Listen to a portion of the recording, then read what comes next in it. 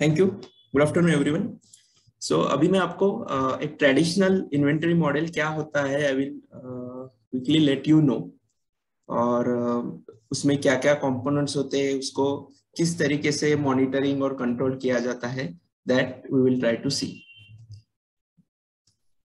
so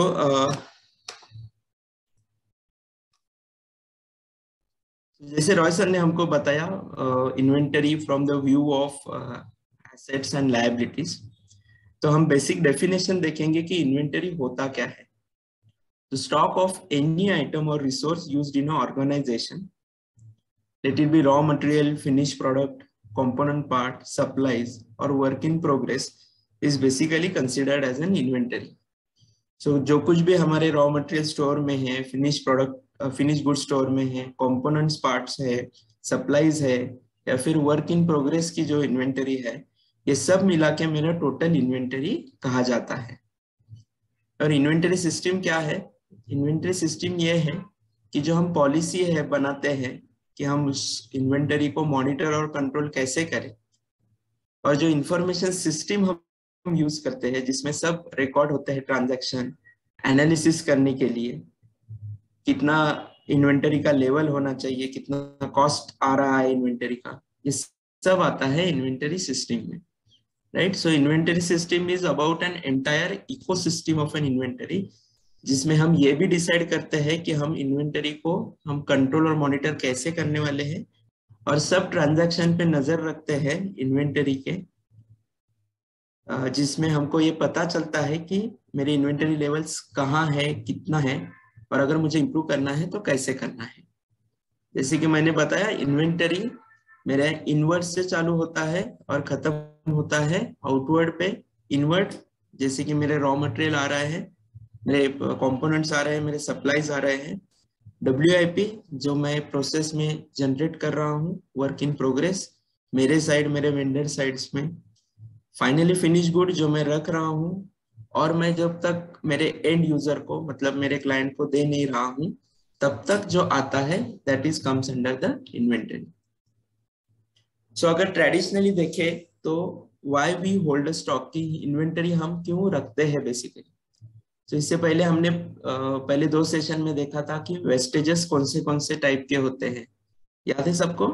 transportation inventory motion waste जिसको हम मूडा भी बोलते हैं right so muda of transportation muda of inventory muda of way defect muda of over production muda of over processing तो एक side हम बोल रहे हैं उसको वेस्ट और दूसरे साइड में मैं स्लाइड दिखा रहा हूँ why we hold stock so ये थोड़ा सा ट्रेडिशनल अप्रोच है जो हमको जस्टिफाई करने की कोशिश करता है कि हम इन्वेंटरी क्यों रखते हैं।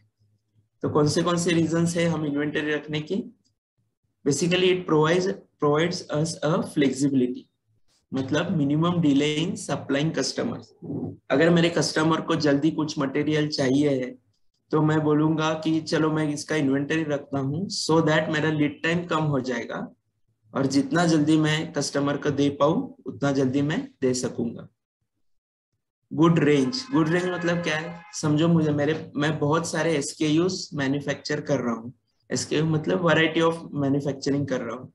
और मेरे कस्टमर को uh, कौन सा भी एसकेयू चाहिए। So if I am maintaining that inventory then I will be in a better position कि मैं उसको वो इन्वेंटरी प्रोवाइड कर सकूँ। Right so with this aspect we are saying कि ये फ्लेक्सिबिलिटी जनरेट करता है इसलिए हम इन्वेंटरी मेंटेन करते हैं। दूसरा पॉइंट क्या है? प्रोटेक्ट अगेन अगेंस्ट अनसर्टनिटीज जैसे कि मेरा रॉ मटेरियल सप्लाई है से आउट ऑफ़ टाउन से नागपुर बेस्ट है। और मैं वहाँ से इन्वेंटरी ले रहा हूँ रॉ मटेरियल ले रहा हूँ। और बीच में ट्रांसपोर्टेशन का कुछ स्ट्राइक हो गया। ओके okay, जिसपे मेरा कंट्रोल नहीं है। तो अगर मेरे पास इन्वेंटरी नहीं है तो ये ट्रांसपोर्टेशन का अगर स्ट्राइक होता है तो मैं स्टॉक आउट में जाऊँगा। मतलब मेरे पास कोई भी इन्वेंटरी बाकी नहीं रहेगी। तो ऐसे जो अनसर्टनिटीज है उसको टैकल करने के लिए मैं बेसिकली इन्वेंटरी रखता हूँ। या फिर एनेबल इकोनॉमिक परचेसिंग जैसे कि हमको पता है कि अगर हम बल्क में कुछ परचेस करते हैं तो हमको कुछ डिस्काउंटिंग मिलता है। तो वो डिस्काउंटिंग का बेनिफिट लेने के लिए हम कुछ ज़्यादा इन्वेंटरी हमारे पास रखते हैं। या फिर anticipate changes in the demand of supply जैसे कि कुछ हमारी लाइन लाइन हम मेंटेन करने की कोशिश कर रहे हैं और हमारे इक्विपमेंट का ओ e e कम नहीं आए या फिर यूटिलाइजेशन कम नहीं आए, इसलिए हमको ये इंश्योर करना है कि हमेशा वहाँ पे कुछ रॉ मटेरियल अवेलेबल हो, जिसकी वजह से नो प्लान या फिर नो रॉ मटेरियल अवेलेबल ऐसे न हो, इसलिए हम कुछ इन्वेंटरी मेंटेन करते हैं। और लास्ट में क्या है? स्ट्रेटेजिक स्टॉक होल्डिंग्स जैसे कि कुछ सिचुएशन आने वाला है और हमको स्ट्रेटेजिकली कुछ स्टॉक बिल्ड करके रखना है।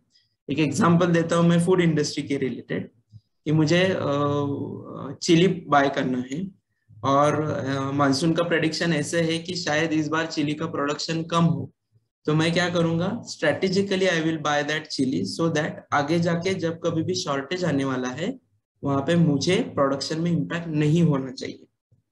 या फिर ऐसे कुछ मुझे मार्केट से इंफॉर्मेशन मिल रहा है कि पाँच छ महीने के बाद स्केर सिटी आने वाली है। जैसे कि अभी कुछ चाइनी, चाइना में चल रहा है, जिसकी वजह से कुछ स्केर सिटी आ रही है इलेक्ट्रॉनिक मार्केट में। सो मैं स्ट्रेटेजिकली कुछ स्टॉक बिल्ड करके रखता हूँ, उसको हम बेसिकली बोलते हैं स्ट्रेटेजिक इन्वेंटरी सो ये कुछ ऑब्वियस रीजन है जिसकी वजह से हम इन्वेंटरी बिल्ड करने की कोशिश करते हैं। मैं फिर से रिपीट करता हूँ क्या क्या रीजन है? एक तो ये हमको फ्लेक्सिबिलिटी देता है then it enables us to handle the uncertainties कुछ इकोनॉमिक परचेस करने की वजह से हमको कुछ डिस्काउंटिंग मिलता है इसलिए हम इन्वेंटरी बिल्ड करते हैं। कुछ बफर्स या फिर प्रोडक्शन uh, लाइन को स्ट्रीमलाइन करने के लिए हम इन्वेंटरी डब्ल्यू कैरी करते हैं। या फिर कुछ स्ट्रेटेजिकली इनिशिएटिव्स uh, होते हैं जैसे कि कुछ स्केरसिटी um, uh, आने वाली है मटेरियल की इसलिए पहले से ही हम परचेस करते हैं। So these are the some common reasons of why we basically hold the inventory और why we basically build the inventory ये रीजन मैंने दिए हुए हैं दैट डजेंट मीन कि इन्वेंटरी को रखना अच्छी बात है। By principle it remains the same inventory is a muda of waste तो जब कभी भी हम बात करते हैं कि हमको इन्वेंटरी कम करना है तो it is always good to segregate that inventory into some categories जैसे कि यहाँ पे हमने पाँच कैटेगरी दिखाने की कोशिश की है। Inventory in in which is locked in terms of raw material component और सब असेंबलीज इसका एक ग्रुप हो सकता है। या फिर inventory in work in progress या फिर inventory in transit everybody please put in mute hello excuse me can I ask you question I'll I'll give you time, sir. Just allow me to complete this, then I will give you time. Thank you.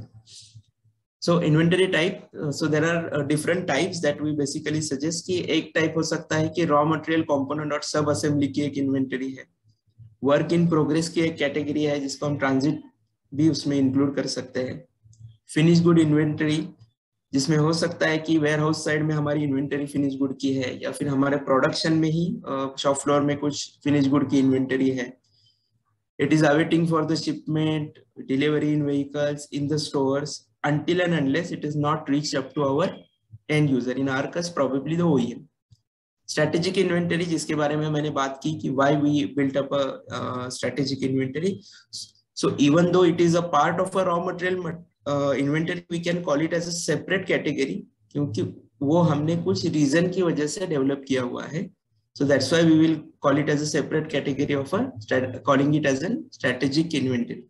And scrap and rework जो probably हमको move out करना है company से organisation से तो we will call it as a different category of scrap and rework so ये category करने की ज़रूरत क्यों है? जब कभी भी हम इन्वेंटरी इंप्रूवमेंट के प्रोजेक्ट लेते हैं सो so, अगर हम एक साथ सबको देख इन्वेंटरी को देखने लगेंगे तो it will be very difficult for us to do an analysis so I will call it as a first level of analysis जिसमें हम इन्वेंटरी को कैटेगराइज करते हैं। And then we take a steps to improve it आगे जाके इसमें हम steps लेते हैं। जैसे कि अगर मुझे पता चलता है कि मेरे रॉ मटेरियल इन्वेंटरी बहुत ज़्यादा बढ़ गया है, और ये बाकी चार कैटेगरी में ज़्यादा इन्वेंटरी नहीं है so I will probably focus more on raw material inventory को मैं कैसे ऑप्टिमाइज करूँ? या फिर मेरी वर्क इन प्रोग्रेस इन्वेंटरी बहुत बढ़ गई है as compare to raw material finish good and strategic inventory then I will probably focus on work in progress inventory so ऐसे कैटेगरी करने से हमको एक डायरेक्शन मिलती है किस डायरेक्शन में मुझे इन्वेंटरी कंट्रोल के लिए स्टेप्स लेना है right so these are the categories that we generally start our inventory control projects with जैसे कि मैंने बताया this is a typical flow of any of the inventory जो स्टोर वेयर हाउस में मेरा आता है that is a raw material inventory then it gets divided into the one part which is our production process जिसमें जो work in progress है we call it as a work in process inventory this particular dimension और this particular direction talks about जो मैं सब contracting करता हूँ मेरे वेंडर के पास, वहाँ पे जो इन्वेंटरी मेरी पड़ी हुई है, वो इस बेसिकली पाथ में है। Entirely is basically my W I P inventory पूरे प्रोडक्शन प्रोसेस से जब मेरा इन्वेंटरी बाहर आता है then I will call it as a finish good inventory यहाँ पे जो एरो है, वो basically it also talks about inventory in transit जो ट्रांसपोर्टेशन में है, जो शायद मेरे वेंडर के पास भी नहीं है और मेरे पास भी नहीं है। सिमिलरली हियर जो मेरे पास भी नहीं है और मेरे एंड यूज़र के पास भी नहीं है that I will call it as an inventory in transit so again this is just a replication of all of these inventories which I have talked यहाँ पे raw material inventory at a broader side यहाँ पे मेरा बीच में P inventory and finally जाके finish good inventory so now I will talk about कि conventional ways में हम इन्वेंटरी कंट्रोल और मॉनिटर कैसे करने की कोशिश करते थे। तो एक डायग्राम यहाँ पे दिखाई दे रहा है आपको, जो वाई एक्सिस है वो रिप्रेजेंट कर रहा है number of units on hand ठीक जो मेरी क्वांटिटी है इन्वेंटरी की in terms of number of units और एक्स एक्सिस रिप्रेजेंट कर रहा है टाइम ठीक है? सो यहाँ पे यहाँ से रीड करने की हम कोशिश करेंगे. सो so, मेरा इन्वेंटरी इन हैंड है जब मेरा टाइम चालू जस्ट स्टार्ट हो रहा है टाइम ज़ीरो है. जैसे जैसे मेरा टाइम बढ़ता है वैसे वैसे मेरा number of units of quantity कम हो जाता है कम होते रहता है। क्यों? क्योंकि मेरा प्रोसेसिंग चल रहा है मेरा प्रोडक्शन चल रहा है। सो so, जैसे टाइम इलैप्स होते जाता है वैसे मेरा क्वांटिटी कम होते जाता है। और एक टाइम ऐसे आता है जब मेरा स्टॉक आउट हो जाता है। स्टॉक आउट होना मतलब क्या? स्टॉक आउट होना मतलब स्टॉक ज़ीरो होना। सो so, अगर टाइम आगे आगे जाते रहता है तो मेरा क्वांटिटी कम होते जाता है और एक कंडीशन आता है जिधर ज़ीरो स्टॉक होता है। वहाँ पे मुझे फिर से मेरा इन्वेंटरी रिप्लेनिश करना पड़ता है, जो मैं बोल रहा हूँ क्यू से। रिप्लेनिश होना मतलब मेरा इन्वेंटरी को मैं फिर से भर देता हूँ और वो क्वांटिटी तब मेरा फिर से इस लेवल तक जाता है। फिर से जब से टाइम मेरा आगे जाने जाता है, वैसे मेरा number of units in hand कम होते जाता है। फिर से स्टॉक आउट होता है then again it replenishes and it goes on ठीक है? तो आइडियली हमको स्टॉक आउट तो करना नहीं है। कभी भी ऐसे सिचुएशन नहीं आना चाहिए जहाँ पे स्टॉक आउट हो रहा है। स्टॉक आउट हो रहा है मतलब क्या है? तो उस पर्टिकुलर इन्वेंटरी का क्वांटिटी ज़ीरो हो रहा है। अगर उस इन्वेंटरी का क्वांटिटी ज़ीरो हो रहा है तो it will directly impact my production तो मुझे ये अवॉइड करना है कि ये ज़ीरो स्टॉक नहीं होना चाहिए। तो एक उसके साथ पैरामीटर आता है लीड टाइम लीड टाइम क्या होता है? जब से मैंने परचेस ऑर्डर उस आइटम का रखा है, तब से जो मेरा टाइम स्टार्ट होता है और जब मुझे वो आइटम मिलता है, इस दोनों का टाइम डिफरेंस मतलब मेरा लीड टाइम मैं फिर से रिपीट करना व्हाट इज़ लीड टाइम जब से मैंने डिमांड रखा है और एक्चुअल में मेरा प्रोडक्ट आया है रॉ मटेरियल आया है, इसका टाइम डिफरेंस मतलब मेरा लीड टाइम तो मैं, मेरा ऑर्डर कब रखने वाला हूँ? जब कभी भी मेरा लीड टाइम का कंजम्पशन जो है, उतना क्वांटिटी मेरे हाथ में है। मैं आसान तरीके में आपको बताने की कोशिश कर रहा हूँ अभी। तो मेरा क्वांटिटी कम हो रहा है। तो यहाँ पे इस एक्सिस पे या फिर इस ग्राफ पे मुझे एक ऐसा पॉइंट चाहिए, जहाँ पे जाके मैं मेरा ऑर्डर रखने वाला हूँ, मेरा परचेस ऑर्डर रखने वाला हूँ। That will be called as a reorder point जो आर से डिफाइन किया गया है। ठीक है? सो मेरा क्वांटिटी कम होते जा रहा है और एक पॉइंट आया जहाँ पे मुझे पता चल रहा है कि अगर मैंने ऑर्डर नहीं रखा तो मेरा स्टॉक आउट हो जाएगा। सो so, जितना मेरा लीड टाइम में कंजम्पशन है उतना मेरा रीऑर्डर पॉइंट है। एक आसान तरीके का एग्जांपल लेके मैं समझाने की कोशिश करता हूँ। सो so, समझो मेरा लीड टाइम में कंजम्पशन है दस यूनिट्स तो जब कभी भी मेरा स्टॉक इन हैंड दस हो जाए, तब मुझे प्रोसेस स्टार्ट करना है कि मुझे परचेस ऑर्डर रखना है। So that by the time ये दस कंज्यूम होता है, मेरा नया ऑर्डर मेरा नया लॉट आता है और मेरा इन्वेंटरी को रिप्लेनिश करता है। This point is basically called as a reorder point ठीक है, समझ में आया? So what it is talking कि आपको ऑर्डर कब करना है which is basically denoted by capital R और रीऑर्डर पॉइंट ठीक है?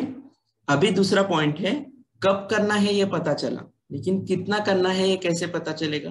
तो उसके लिए एक टर्मिनोलॉजी है which is basically called as an economic order quantity that I will talk in the next slide तो इसी के साथ एक सेफ्टी स्टॉक बोल के एक नॉर्म पिक्चर में आता है कि इतना मुझे कट टू कट नहीं कंट्रोल करना है। मतलब लीड टाइम में जितना कंजम्पशन है, उतना ही आने के समय में ऑर्डर नहीं लगने वाला हूँ। मुझे कुछ सेफ्टी स्टॉक भी चाहिए। तो जब कभी भी हम सेफ्टी स्टॉक डिफाइन करते हैं, ये ऑरेंज लाइन शिफ्ट होता है और उसके ऊपर ये ग्राफ आता है। तो जैसे कि मैंने सेफ्टी स्टॉक रखा से टेन परसेंट तो यहाँ अगर मेरा सेफ्टी स्टॉक है, जो मैं एरो से अभी दिखा रहा हूँ तो उसके ऊपर मेरा रीऑर्डर पॉइंट आने वाला है। सो सेफ्टी स्टॉक यहाँ पे जो एक्स एक्सिस है ज़ीरो लेवल बता रहा है वैसे ही मैं एक्स एक्सिस को शिफ्ट कर रहा हूँ कि इसके नीचे मेरा नहीं आना चाहिए। और जब कभी भी सेफ्टी स्टॉक के नीचे आता है then that is a critical situation क्योंकि मैंने सेफ्टी स्टॉक को हाथ लगाया हुआ है। राइट तो सबसे पहले ये ग्राफ हमको बताने की कोशिश कर रहा है कि मुझे कब ऑर्डर करना है which is defined by reorder point reorder point क्या है हमारे लिए? रीऑर्डर पॉइंट मतलब लीड टाइम में जितना कंजम्पशन हो रहा है उस इन्वेंटरी का that is my reorder point lead time क्या होता है? लीड टाइम होता है जब कभी भी मैं परचेस ऑर्डर रख रहा हूँ, उससे मेरा क्लॉक स्टार्ट होता है और जब कभी भी मैं मटेरियल रिसीव करता हूँ, इस दोनों में का time duration is my right so, i so, i hope you are clear with this particular stuff. I will go ahead with the economic order quantity, then i will ask if you have any question. So, reorder point, फिर से repeat कर रहा हूँ। Lead time में जो हमारा consumption है that is basically my reorder point inventory कम होते होते होते रीऑर्डर पॉइंट तक जाता है तो मुझे परचेसिंग ऑर्डर और ये प्रोसेस स्टार्ट करना है। So meanwhile my raw material comes in this lead time I will have some inventory in my hand जब कभी भी वो स्टॉक आउट में ज़ीरो स्टॉक होगा, तब my new inventory will get replenish तो ठीक है, हमको ये तो आंसर मिल गया कि कब ऑर्डर करना है अभी हम देखेंगे कितना ऑर्डर करना है right so before we go to the कितना ऑर्डर करना है there are two costs associated with the inventory. The one is called as an ordering cost and the other one is called as an holding cost. And because of these two costs, basically we call inventory as a mode of waste. So सा कौन सा है सबसे पहले आसान understand करेंगे holding cost holding cost क्या है तो देखिए, मैं इन्वेंटरी ले रहा हूँ और मैं मेरे जगह पे रख रहा हूँ। तो सबसे पहले मेरा स्पेस जाता है। So I am giving some kind of an rent for that space तो उसका जो रेंट है, वो मेरा होल्डिंग कॉस्ट में जाता है। जब कभी भी मैं किसी इन्वेंटरी को वहाँ पे रख रहा हूँ तो उसको मेंटेन करने की मेरी रिस्पॉन्सिबिलिटी आती है। मेंटेन करना मतलब साफ़ साफ़ सफ़ाई करना, उधर उसका इंश्योरेंस लेना। सो दैट कल अगर कुछ फायर इंसिडेंस हो जाए तो we should get some back amount back so उसका इंश्योरेंस निकालना पड़ता है। So that also added into the holding cost. Then उसके साथ कुछ स्टाफिंग है इक्विपमेंट है, जो हमको मेंटेन करने के लिए ज़रूरत पड़ता है, उसका कॉस्ट ऐड हो जाता है। देन पेरिशेबिलिटी अगर उस प्रोडक्ट के साथ हो मतलब वो अगर कुछ एक्सपायरी हो उस प्रोडक्ट की, और उसमें वो कंज्यूम नहीं हुआ तो बेसिकली उसका कॉस्ट होल्डिंग कॉस्ट में जाता है। Typically in food industries perishability comes into the picture obsolescence है मतलब वो खराब हो गया है, रख के उसमें गंज पकड़ गया है तो वो खराब हो गया है मटेरियल वो हम यूज़ नहीं कर सकते। सो so ये सब चीज़ें मेरे होल्डिंग कॉस्ट पे बेसिकली एडअप होती जाती है। राइट ऑर्डरिंग कॉस्ट क्या है? ऑर्डरिंग कॉस्ट है मेरा परचेस ऑर्डर रखने के लिए जो कॉस्ट आ रहा है, जो ऑफ़िस बेरिंग मेरा जो प्रो रेटा बेसिस पे जो एम्प्लॉय काम कर रहे हैं उस पर उसका सैलरी आ रहा है शिपिंग का कॉस्ट उसमें आ रहा है कुछ बैंक चार्जेस है एडिशनल जब मैं अमाउंट रिलीज़ करता हूँ तो इंटरेस्ट जो बैंक चार्ज करता है। सो so, इन्वेंटरी के साथ ये दोनों कॉस्ट हमेशा एसोसिएटेड होते हैं होल्डिंग कॉस्ट और ऑर्डरिंग कॉस्ट अभी इसमें एक इंटरेस्टिंग चीज़ है। क्या है वो?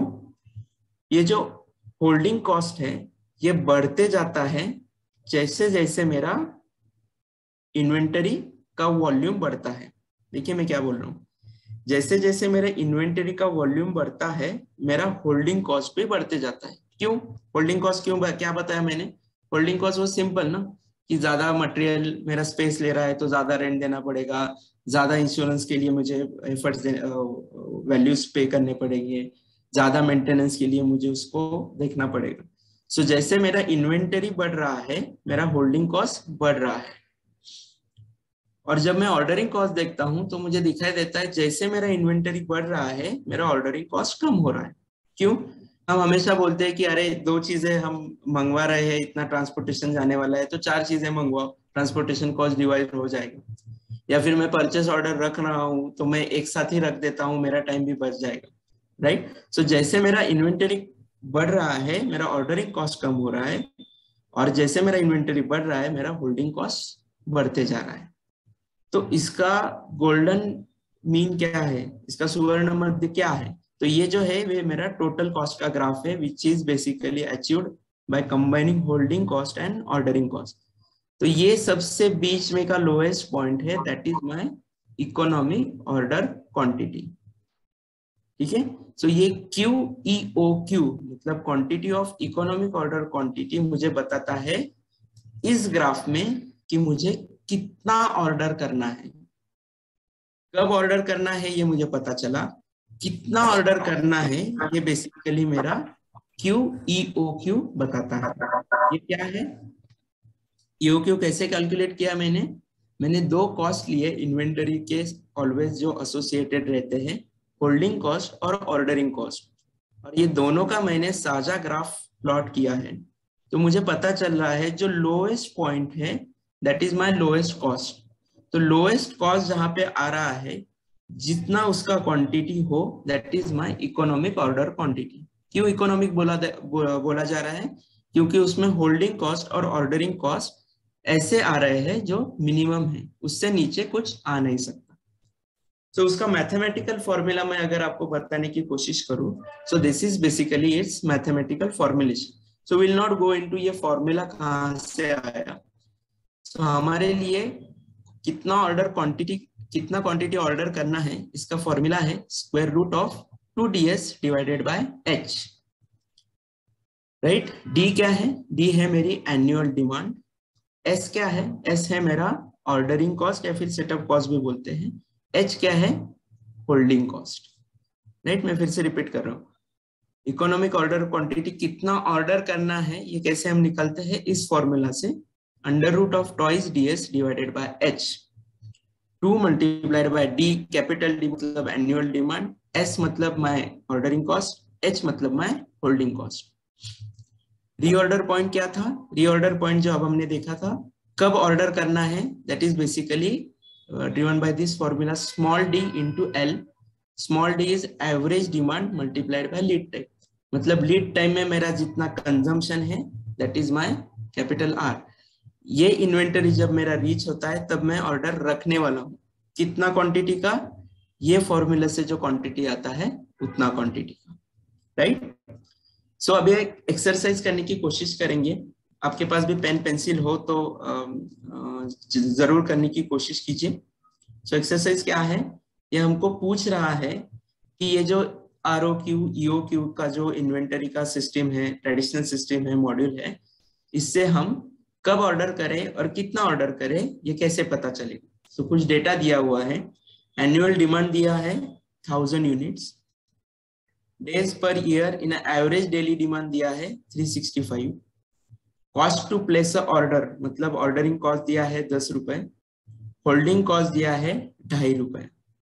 लीड टाइम है सात दिन और कॉस्ट पर यूनिट है पंद्रह रुपीज़ सो इससे हम ईओ क्यू और रीऑर्डर पॉइंट कैसे कैलकुलेट करें? सो so, इसका मैं आपको आसान इसका सा एक आंसर देता हूँ। एक और एक्सरसाइज है that you can write on your own तो देखिए फॉर्मूला बताता है two D S divided by H capital D का क्या मतलब है?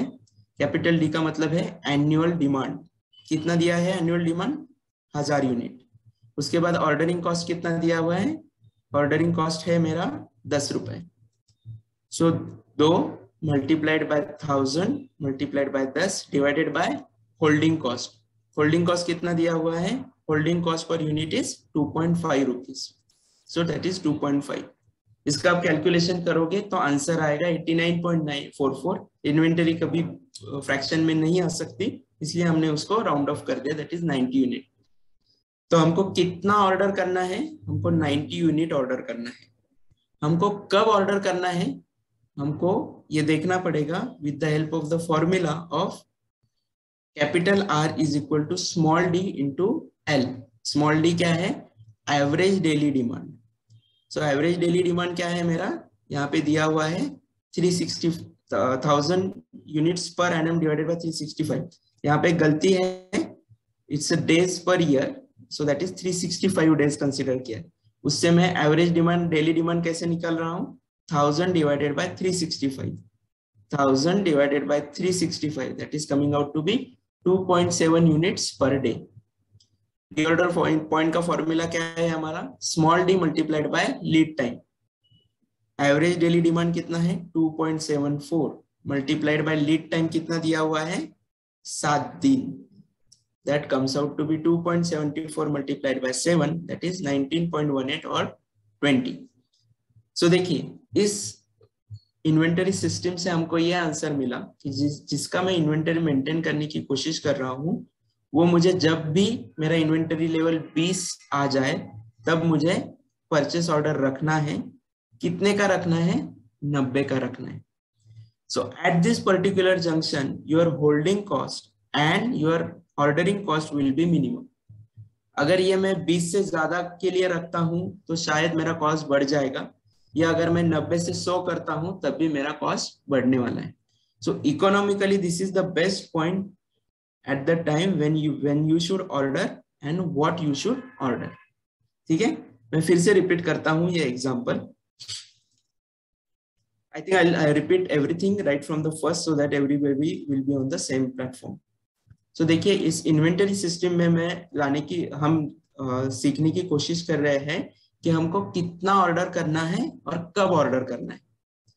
जैसे कि इन्वेंटरी का मॉडल हमको बता रहा है जैसे जैसे टाइम आगे जाता है वैसे वैसे मेरा इन्वेंटरी कम होते जाता है।